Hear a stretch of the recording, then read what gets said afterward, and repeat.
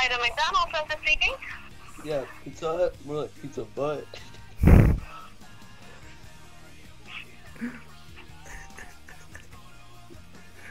Way to go, Holy shit. That was the fucking worst prank call. Jackman, that was gold.